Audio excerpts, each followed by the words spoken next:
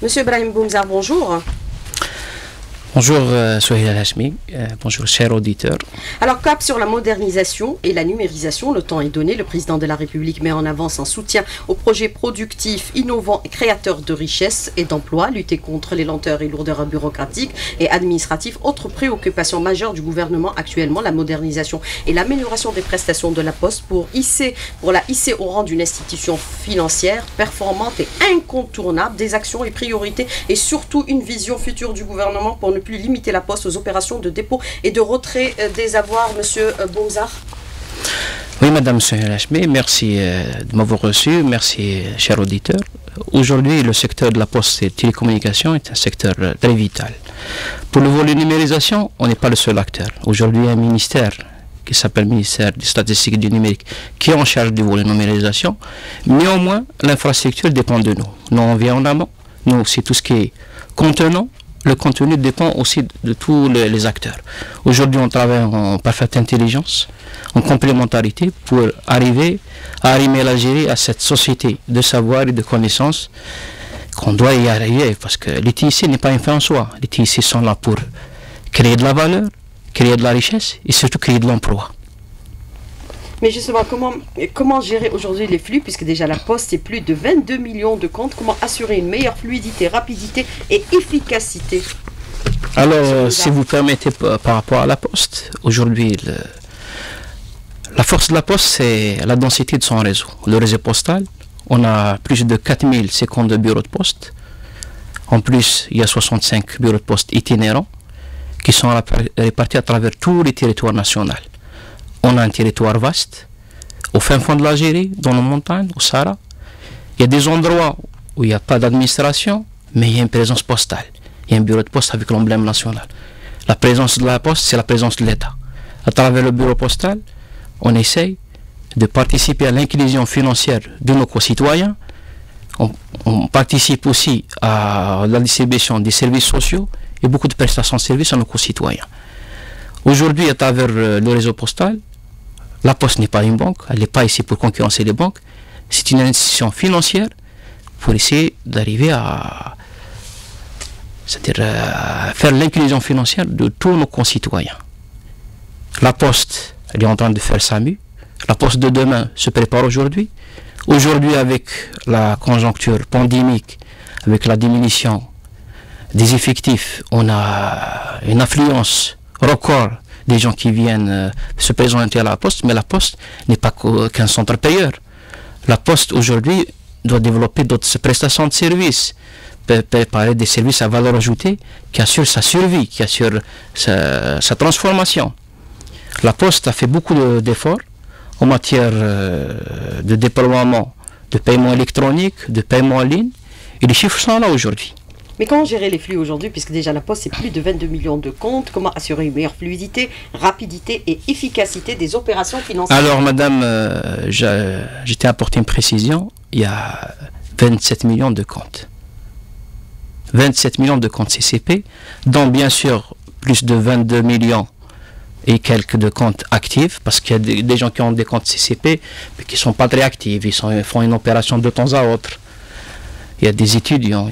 Mais aujourd'hui, euh, si on veut diminuer, aujourd'hui, il n'y a pas que la, monnaie fiduciaire, il y a aussi la monnaie scripturale.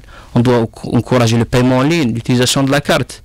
Aujourd'hui, vous, savez, euh, pour euh, le déploiement des TPE, c'est récent. Algérie Post s'est lancé dans le déploiement des TPE récemment, en 2018. Mais à ce jour, on a déployé plus de 3000 TPE, terminaux de paiement. On a déployé depuis, euh, on a mis en place des mesures et des actions depuis cette crise pandémique en mettant au service nos commerçants de manière gracieuse, en les accompagnant, en les formant, mais il n'y a pas eu d'engouement. On est en train de travailler avec le ministère du Commerce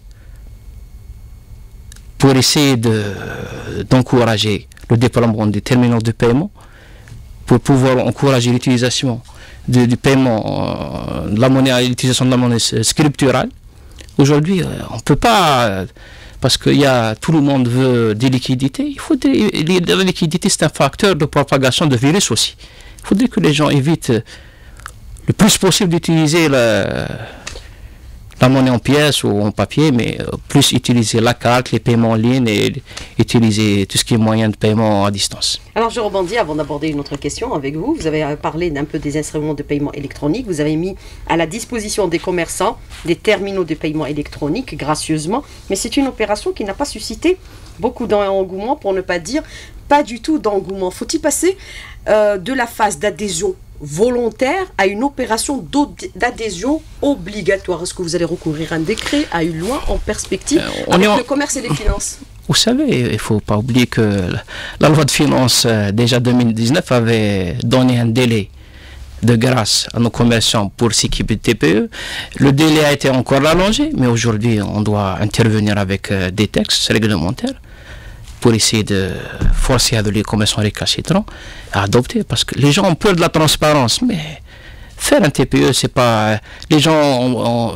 C'est pas un TPE qui est connecté à l'administration fiscale. Le TPE permet de. C'est d'abord un moyen très sécurisé de paiement. A une traçabilité. Et au-delà de ça, on est en train de travailler même sur d'autres euh, outils de paiement. Et je vous donne un scoop aujourd'hui. Et on lancera avant la fin de l'année le paiement avec QR code. Le paiement avec QR code, c'est-à-dire sans contact, à travers le téléphone euh, du client. Le client, à travers son application Berry aura, c'est-à-dire à scanner le QR code du commerçant. On va utiliser une opération pilote. On va cibler d'abord certaines activités qui sont plus ou moins organisées, mais le client utilise seulement son téléphone adossé à son compte, parce que c'est pas du mobile payment.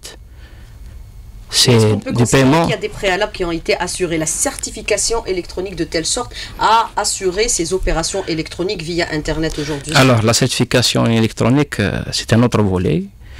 Aujourd'hui, un schéma national euh, de certification électronique. Euh, et qui est adossé, il y a tout un schéma, il y a une agence nationale de certification électronique, euh, il y a une agence gouvernementale, il y a une agence économique qui est assurée par le régulateur, la RPCE.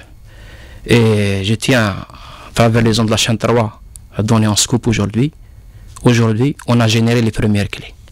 C'est plus un leurre, mais on a généré les premières clés.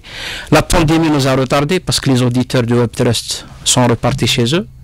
Mais dès qu'il y aura une levée, le blocage, les, les vols, confinement, notamment les vols à l'international, l'équipe d'auditeurs du test va revenir. On aura deux mois pour euh, un audit et pour euh, des tests. Et voilà le go live. C'est tenu à l'heure. Aujourd'hui, le gouvernement, c'est plus un gouvernement de, de slogan on va faire, mais on a fait. Aujourd'hui, la certification électronique, elle est effective. On a généré les premières clés et ça sera opérationnel dès la levée du confinement. Alors, euh, vous avez déclaré euh, au début de cette émission que la banque n'est pas, euh, que la Poste n'est pas une banque, elle ne concurrence pas les banques, mais elle offre aussi des opérations financières. Est-ce qu'on peut considérer qu'avec la vision future, on ira vers une banque postale? C'est un projet qui a été différé, qui a été annulé. Ça a été différé. il a été gelé. Est-ce qu'on peut considérer que le gouvernement à l'avenir pourrait le reprendre Il n'y a pas de vent propice pour un marin qui ne sait pas où aller. La banque, euh, la poste de demain se prépare aujourd'hui. Aujourd'hui, on a instruit la poste pour commencer à, lancer une étude prospective de voir comment sera la poste de demain. À travers le monde, il y a deux modèles. Il y a des pays où la poste a carrément disparu, parce qu'aujourd'hui on n'utilise plus la poste aux lettres. Mais il y a d'autres pays au contraire. Il y a d'autres pays où la poste a été renforcée. Euh, nous, la poste est un outil par excellence euh, de service public. Et euh, la tendance aujourd'hui, c'est de renforcer la poste, profiter de la densité de son réseau pour d'autres services, des services à valeur ajoutée, pour distribuer d'autres services. À euh, l'exemple, on pourrait distribuer des assurances, vendre d'autres prestations à valeur ajoutée. Mais la poste de demain se prépare aujourd'hui. On doit lancer cette étude prospective, faire un benchmarking à l'international, ce qui se fait, quelles sont les meilleures pratiques et quelles sont les meilleures perspectives pour la poste. La poste a fait beaucoup de pas, beaucoup d'efforts, d'autres efforts restent à faire. C'est parce que nos citoyens sont exigeants et c'est légitime. Je tiens à saluer tous nos postiers à travers les ondes de la 3 parce qu'ils ont fait beaucoup d'efforts en cette pandémie. C'est des mères de famille, euh, c'est des parents, c'est des gens qui ont, euh, qu'on salue, ils ont assuré la continuité de service dans des conditions très difficiles. Je salue aussi tous les techniciens des postes télécoms, tous les techniciens de nos opérateurs, publics et privés. Parce que moi, je ne suis pas le ministre d'Algérie Post ou le ministre d'Algérie Télécom de Je suis ministre des postes télécommunications, tous opérateurs confondus, sans discrimination. On tient à saluer tous les gens, tous les techniciens du front office, mais aussi du back office, qui ont assuré cette continuité de service. Alors sur la question un peu de la loi sur euh, les TPE, les terminaux de paiement euh, électronique, vous avez dit qu'il y a eu quand même une sorte de résistance parce qu'on a peur un peu de la transparence. Vous allez adopter un dispositif pour contraindre les commerçants à adopter ces nouveaux euh, mécanismes Alors, c'est pas moi qui vais les contraindre. Est-ce qu'on peut considérer que c'est avant la fin de l'année, on aura cette nouvelle disposition? On est en train de travailler avec, avec mon ami collègue, M. Rezik, le ministre du Commerce. On est en train de réfléchir comment encourager ces terminaux de paiement. Il y a la loi de finances 2021 euh, qui est en préparation. On pourrait agir parce qu'un ministère ne fait pas l'économie. Un ministère fait les politiques économiques. Et c'est la politique économique La politique économique, on agit à travers des mesures. Parmi les mesures, on va agir avec des mesures qu'on doit proposer pour la loi de finances, par exemple. Il y a des dispositions euh, législatives, mais aussi des dispositions réglementaires à travers des arrêtés interministériels, notamment à travers le ministère du Commerce. On va cibler des activités. Il y a des activités qui sont plus ou moins plus euh, prédisposés à l'utilisation des terminaux de paiement électronique. Prenons l'exemple des pharmacies. Aujourd'hui, ce n'est pas normal qu'une pharmacie n'ait pas un terminal de paiement. Un euh, je tiens à préciser aussi que l'interopérabilité est un acquis national aujourd'hui. Parce qu'un porteur d'une carte CIB ou d'une carte euh, peut utiliser à la fois le terminal de paiement de la poste, mais aussi le terminal de paiement de la banque qui sont déployés à travers le pays. C'est pas assez. À ce jour, c'est-à-dire euh, Algérie a déployer 3000 TPE, la place bancaire a déployé 14 000 euh, de paiement, mais c'est pas assez. Mais ce qui est relevé aujourd'hui au niveau de la Poste, avec bien sûr cette pandémie qui est en train de sévir, qui est en train de s'élargir, puisque le nombre de contaminations a augmenté, il a dépassé la barre des 500, le manque de liquidité au niveau de la Poste actuellement a brisé, a brisé toutes les barrières sanitaires. Il y a euh, un flux important euh, des clients d'Algérie Poste qui se présentent quotidiennement, qui n'arrivent pas à, à, assurer leurs opérations euh, financières, puisque les montants sont plafonnés à 50 000 dinars. Qu'est-ce qui se passe au niveau de la Poste? Alors, liquidité Je tiens à préciser, il n'y a pas une crise de liquidité. Les liquidités sont là. Je vais vous donner les chiffres. La Poste a répondu. On a assuré le nombre d'opérations est resté le même, le nombre de retraits, de est resté le même. Compte il a augmenté, mais les gens, il ne faudrait pas qu'on fasse un, phénomène de soumoule. Il n'y a pas de liquidité, tout le monde tire sa liquidité. Non. Aujourd'hui, il y a une perturbation de la liquidité. Vous savez, la, la conjoncture pandémique a fait que les effectifs sont réduits, les déplacements sont aussi réduits. On, est en collaboration avec nos collègues de la Banque de l'Algérie qu'on salue. À l'occasion, on, on a mis en place une cellule d'écoute et de veille, d'échange d'informations. L'information se fait chaque jour, le matin et le soir, on échange d'informations, des besoins. Aujourd'hui, on a observé, parce que euh, tout est informatisé à Algérie Post aujourd'hui, on a observé les flux d'informations et on a vu qu'il y a des pics. Il y a une courbe chaque fois, il y a le 20 du mois, le 24 du mois, le 18 du mois, il y a un pic. On a observé ça. au passé, on a fait des mesures, mais c'est des, mesures conjoncturelles. Aujourd'hui, on doit arrêter de, traiter les symptômes, mais on doit traiter les causes. Pour le cas de nos retraités, on a observé cette courbe. On a mis en place un groupe de travail avec euh, la Caisse nationale des retraites. On a donné l'orientation, essayer d'aplatir cette courbe. Quand on a aplati cette courbe, on a essayé de mettre, on a mis en place des moyens scientifiques avec un algorithme qu'on a expliqué. C'est vrai que c'est pas évident pour nos retraités, mais on va les accompagner avec une campagne de sensibilisation. Il y aura un SMSing, il y aura une compagnie de sensibilisation très ciblée pour leur expliquer le jeu de virement. Pourquoi aujourd'hui on a plus de 3 millions et quelques de retraités? Pourquoi une affluence de 3 millions dans deux jours? C'est impossible, c'est inhumain on doit respecter la dignité de nos retraités. On a étalé ça sur plusieurs jours et ça va significativement améliorer cette euh, affluence au niveau de nos bureaux de poste. Alors, M. Euh, monsieur Brahim Boumzar, moi je voudrais revenir avec vous sur un aspect que vous avez abordé dans la première partie de l'invité de la rédaction. Vous avez parlé un peu de cette crainte suscitée par rapport au retrait massif de liquidités au niveau de la Poste, qui connaît le même phénomène que celui euh, des banques. Combien d'opérations de retrait ont été enregistrées? Puisqu'on parle déjà, pour le mois de juin seulement, il y a eu pas moins de 370 000 milliards de dinars qui ont été retirés en seulement un seul mois. Alors, avant, je sais que vous aimez bien les chiffres, avant de vous donner les chiffres, je tiens à préciser, c'est le ministre de la Poste et Télécommunications. Les gens ont tendance à toujours nous coller le numérique. Le numérique ne relève plus notre département, mais on est un acteur euh, incontournable, l'infrastructure, sinon. Par rapport aux opérations de retrait, pour vous dire que la Poste était présente, était au rendez-vous, et qu'il n'y a pas une crise de liquidité. La preuve, le nombre d'opérations, le nombre de retraits euh, qui ont été effectués durant le mois de juin atteint plus de 374 milliards de dinars. C'est énorme.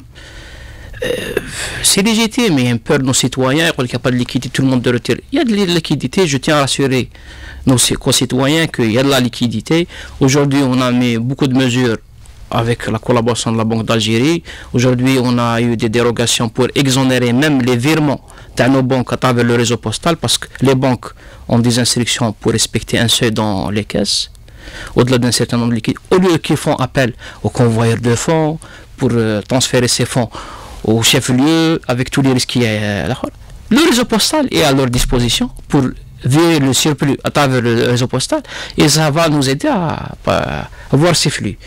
Dans les 374 milliards de dinars qui ont été euh, retirés au niveau de nos bureaux de poste, il faut avoir à l'esprit que plus de 73 milliards ont été retirés à partir des GAP. Des, guichets automatiques euh, de banque. Et il faudrait savoir qu'aujourd'hui, euh, je tiens à saluer, c'est-à-dire aujourd'hui, à travers le géomonétique, il y a l'interopérabilité, l'interbancarité. C'est-à-dire aujourd'hui, euh, le chiffre qu'on a vu, c'est un chiffre très encourageant, mais c'est pas assez. Beaucoup de titulaires de carte CIB ont retiré aussi leur argent à travers les guichets de l'Algérie Post. Et beaucoup de titulaires de la carte d'Habien ont retiré leur argent à travers les guichets de la banque, de différentes banques. Parce qu'aujourd'hui, il y a l'interbancabilité qui est un acquis aussi. Mais est-ce qu'on peut considérer que le mois de juin, euh, un retrait record, plus de 374 euh, milliards de dinars, depuis le début de la pandémie, c'est aussi en hausse? La courbe est en hausse de retrait au niveau de la poste? Euh, On a eu une hausse le mois de Ramadan, c'était légitime, Ramadan. Beaucoup de dépenses. beaucoup de dépenses. Mais aujourd'hui, la fin de l'année, et on va avoir encore beaucoup de dépenses. La fin du mois, c'est le mois d'Aïd. Moi, je tiens à rassurer nos concitoyens la disponibilité la liquidité. Aujourd'hui, on doit toutes les mesures qu'on a fait, c'est pas assez. On doit encore encourager l'utilisation de la monnaie scripturale. Les autres moyens de paiement sont là. Il n'y a pas que la monnaie liquide. On doit utiliser les chèques. Nos postes sont là pour vous aider, pour vous délivrer des chèques, des chèques certifiés avec nos receveurs. Il y a des virements, il y a des transferts, mais pas que de la monnaie liquide. Mais combien il y a eu de retraits depuis le début de cette pandémie, si on doit prendre en considération les chiffres qui sont en hausse actuellement? Alors, l'ensemble des retraits, je vais vous donner un chiffre euh, sur le réseau postal pour le premier semestre. Il a atteint quand même, euh, je vais vous donner, il y a eu quand même plus de... Alors, pour tout le semestre, il y a eu quand même euh, les transactions financières. Vous savez, madame, pour vous donner une image, les transactions monétiques qui ont été effectuées à travers euh, le réseau postal ou le réseau interbancaire, il y a quand même, euh, premier semestre, du 1er janvier au 30 juin, plus de 84 000 opérations monétiques. Hein. C'est-à-dire, euh, vous pouvez vérifier ces chiffres à travers euh, le site géomonétique et voir que euh, l'ensemble des transactions monétiques effectuées en Algérie dépasse de loin toutes les transactions monétiques effectuées en Tunisie et au Maroc cumulées. En termes de liquidité, ça représente quel montant Rapidement, Monsieur le ministre, pour qu'on aborde la question d'Internet? En termes de liquidité, je vous ai donné le chiffre pour juin, c'est-à-dire ça a dépassé les 374 milliards de dinars pour un mois. Et vous avez, c'est la moyenne, c'est la moyenne en général. C'est 360 000, 350 000 milliards par mois. Il faut euh, de multiplier par les mois qui sont passés. Alors aujourd'hui, quand on parle un peu de cap sur la numérisation, le cap sur la modernisation, euh, c'est-à-dire lutter contre les lenteurs et lourdeurs bureaucratiques et administratives, pour toutes ces opérations, il faut un support important Internet avec une connexion de qualité. La connexion de qualité, vous y travaillez aujourd'hui. Est-ce que c'est votre priorité Puisque nous avons c'est une priorité. voilà, il y a régulièrement des perturbations sur le réseau. C'est une priorité. Euh, moi, avant d'être ministre, je suis aussi un citoyen. Aussi, euh, j'ai la même euh, connexion que vous. Aujourd'hui, euh, beaucoup d'efforts ont été faits en matière d'infrastructure, mais c'est pas assez. Aujourd'hui, si on veut donner un débit respectable à nos concitoyens, c'est pas à travers du cuivre. Aujourd'hui, on a entamé ce chantier de modernisation de toute l'infrastructure à travers la modernisation et la modernisation passe par la fibre optique. Vous avez vu, il y a des chantiers un peu partout de fibre optique. Aujourd'hui, le réseau TDM ne permet pas de donner un débit garanti, un débit respectable. Aujourd'hui, le, le débit euh, qu'achètent nos clients, c'est un débit qui est partagé. Et vous avez vu que à travers, euh, notamment dans la conjoncture pandémique, il y avait des mesures de restriction de déplacement. Et les gens, quand ils étaient chez eux, on a eu des pics historiques qu'on n'a jamais atteints. La bande passante à l'international, euh, depuis le premier euh, semestre, on a entamé beaucoup de mesures afin de l'augmenter. On est passé de 1,6 Tera à 2,07 Tera. C'est-à-dire on a augmenté, mais c'est pas assez. On doit encore augmenter cette bande passante pour assurer et garantir c'est le débit Internet. Mais aujourd'hui, pour Internet, c'est comme on avait un grand barrage où il y a beaucoup d'eau, mais qui déverse dans des canalisations qui sont obsolètes. Des canalisations, il y a beaucoup de fuites. Ça, c'est notre réseau. Un réseau qui est vétuste, notamment dans les grandes villes. On a entamé le grand chantier dans les villes les plus vétustes qui sont Alger et Constantine. Et les premiers résultats sont là. On a euh, fait des engagements par rapport aux grandes villes, Sidi Abdallah, Sidi Abdallah avant et après, allez-y poser la question aux habitants de Sidi Abdallah. Les résultats concrets sont là.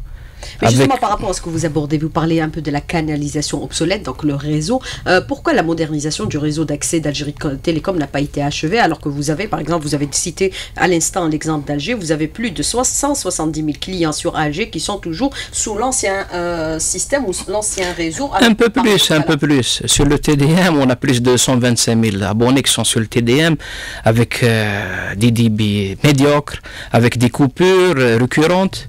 Et aujourd'hui, moi je dis parce qu'un ministère fait de la politique. L'action, c'est les opérateurs. Ils doivent assumer leurs responsabilités. Si on nomme des managers, madame, c'est d'abord pour euh, remonter des solutions, pas pour remonter des problèmes. Ils doivent assumer un problème, un sérieux problème de management, je dois le dire. Et aujourd'hui, euh, on n'a pas, on, pas service à nos opérateurs à travers cette situation monopolistique qui s'est installée. Est-ce que vous allez ouvrir justement Internet au secteur privé? Puisque la question a Écoutez, toujours été posée et, certains déplorent le monopole d'Algérie euh, Télécom. Il faudrait avoir l'esprit que la loi 1804 qui encadre euh, les communications euh, électroniques, y a, le, le, ministère n'est pas le seul acteur. Il y a aussi un régulateur. Le régulateur qui, qui est le gendarme des télécommunications, qui doit veiller à la qualité de service, qui doit veiller à cette concurrence saine. Pour le mobile, pas pour le fixe. Pour le mobile et pour le fixe, le régulateur des télécommunications électroniques. Aujourd'hui, euh, il y a des dispositions dans la loi 04 qui sont là, mais la mise en œuvre tarde à venir. Et je salue euh, le, le, régulateur, c'est-à-dire on a eu le courage d'entamer un chantier très important, un chantier très sensible, parce que derrière il y a des enjeux. Aujourd'hui, on a entamé le chantier. Euh, il y a un groupe de travail qui a été mis en place. On travaille en étroite collaboration avec le régulateur pour, d'une part, la partie itinérance. C'est pas normal aujourd'hui que nos concitoyens subissent le retard de déploiement de nos opérateurs. Il y a des zones isolées, même ici à la capitale. Vous êtes sur votre mobile, vous parlez, ça se coupe. Parce qu'il y a une mauvaise connectivité, parce qu'il y a une mauvaise couverture réseau, aujourd'hui, l'itinérance, c'est un peu l'itinérance pour vulgariser la chose, c'est comme du roaming national. On est en train de travailler, euh, on a fait appel à commentaires, pour, euh, on a saisi officiellement nos opérateurs, on a, on a reçu des contributions très riches, on a saisi officiellement les associations de protection de consommateurs qui doivent jouer leur rôle pour les écouter.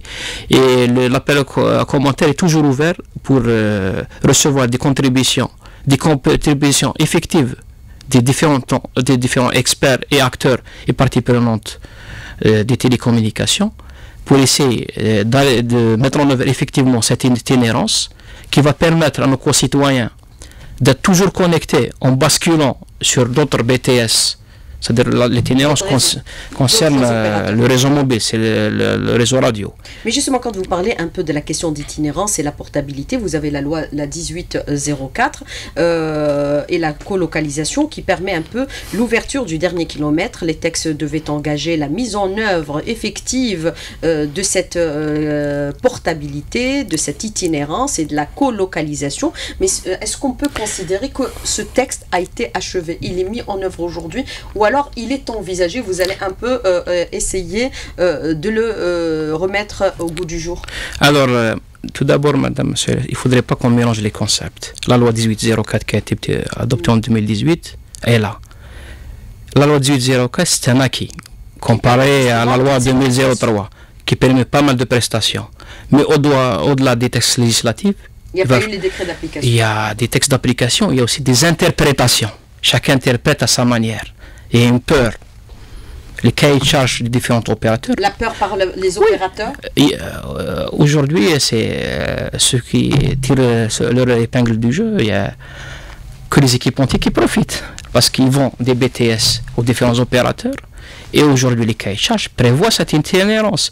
Les cahiers de charges prévoient cette mutualisation d'infrastructures passives et actives. Est-ce que vous allez contraindre un peu les opérateurs à respecter ces, ces, ce type En collaboration avec le régulateur, parce qu'il y a des aspects qui relèvent du régulateur, en étroite collaboration, on va travailler pour mettre en œuvre cette itinérance pour qu'elle soit effective, pour mettre en œuvre la portabilité. La portabilité à ne pas confondre avec l'itinérance portabilité. Quand un client achète son numéro, c'est sa propriété.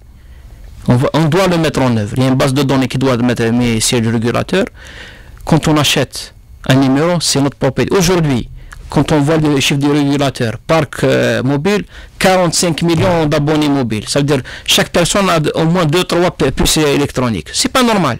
Parce qu'aujourd'hui, le client est perdu.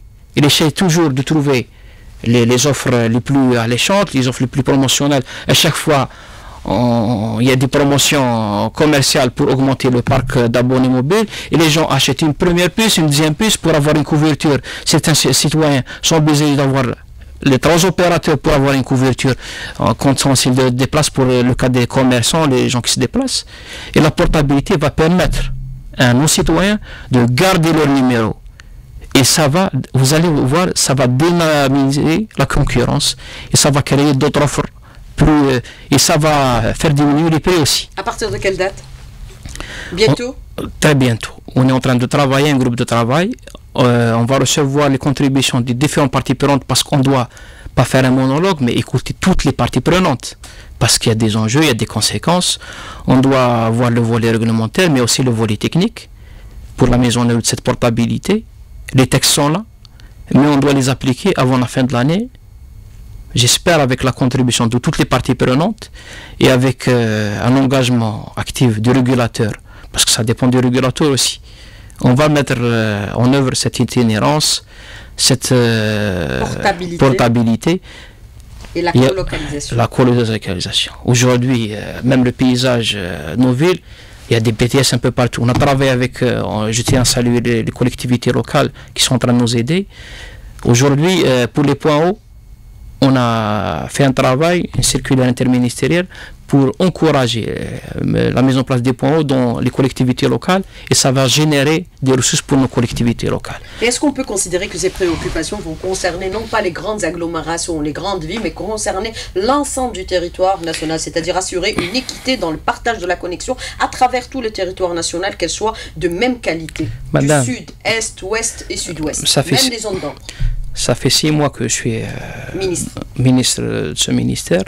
Et depuis le début euh, de mon mandat, euh, j'ai toujours plaidé, j'ai dit que Alger, ce n'est pas l'Algérie.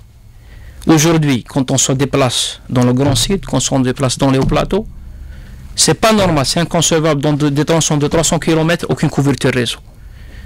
Il y a des mécanismes, il y a le service universel qui compense. C'est-à-dire il y a des gens qui ne sont pas rentables, il y a un enjeu économique aussi qui compense les zones où il n'y a pas de rentabilité. Les zones d'ombre, c'est une priorité.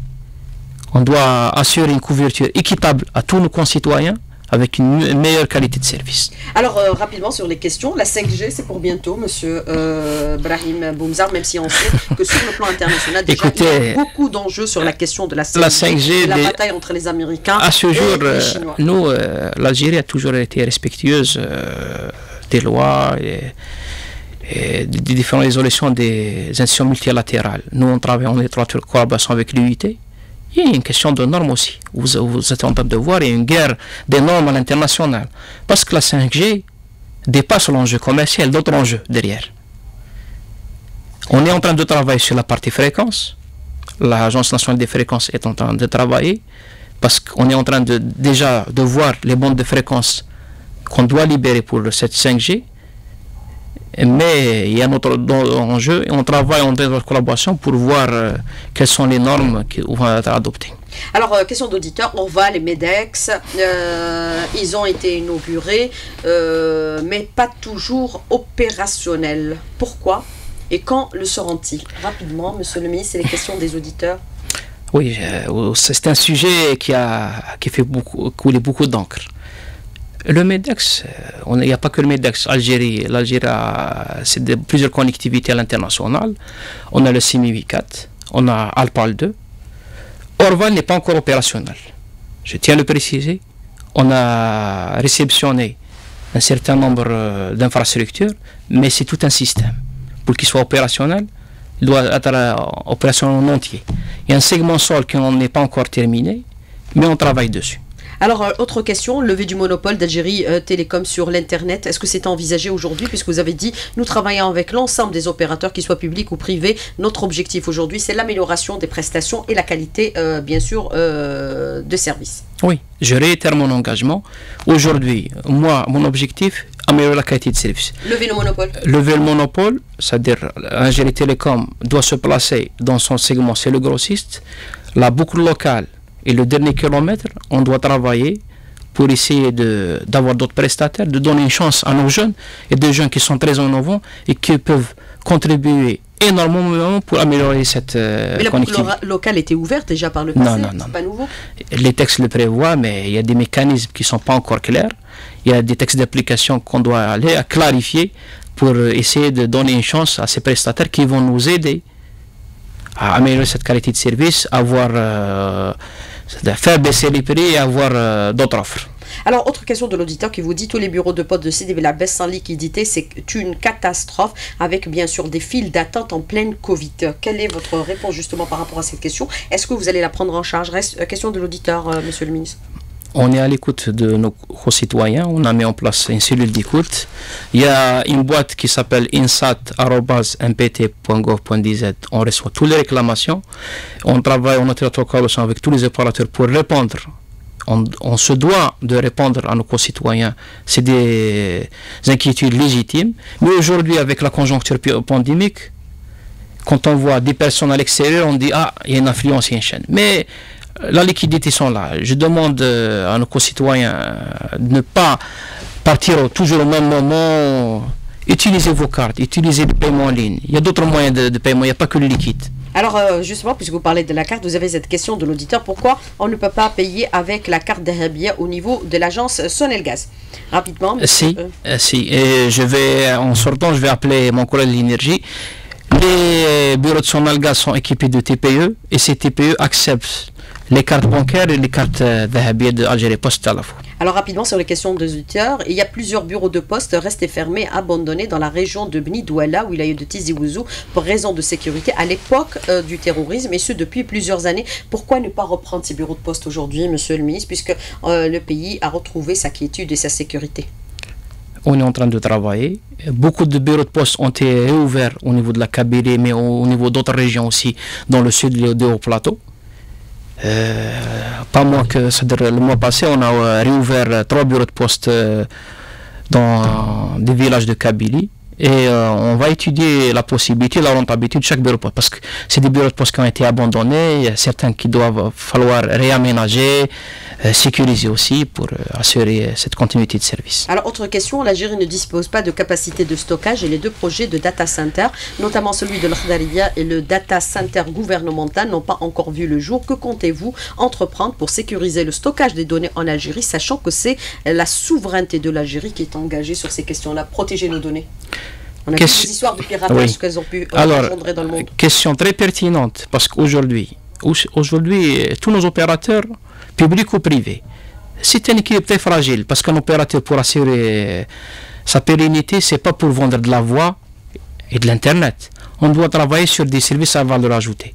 Et les services à valeur ajoutée passent par avoir du stockage, du stockage, du cloud et du data center. Le data center gouvernemental, a été bloqué par euh, des dispositions bureaucratiques et on travaille dessus pour euh, essayer de le débloquer et pour aussi encourager d'autres opérateurs publics et privés à avoir aussi leur data center.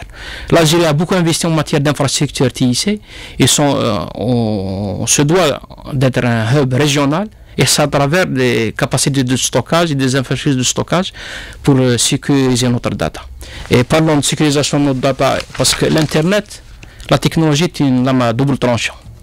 L'Internet aussi, il y a des risques quand on l'utilise. Aujourd'hui, je profite, c'est le, 15 euh, juillet, c'est la journée de l'enfant algérien.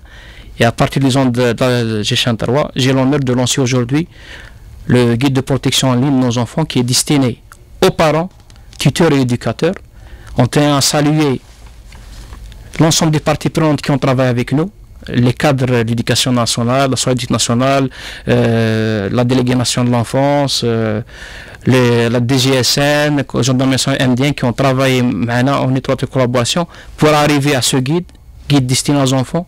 Aujourd'hui, avec la pandémie, on voit que des fois nos enfants sont à la maison pour se débarrasser. On lui donne la tablette, on lui donne le téléphone, mais Internet c'est aussi dangereux. Il va falloir protéger nos enfants. On a le devoir de les protéger on a l'honneur aujourd'hui de lancer ce guide qui est un acquis. des madame.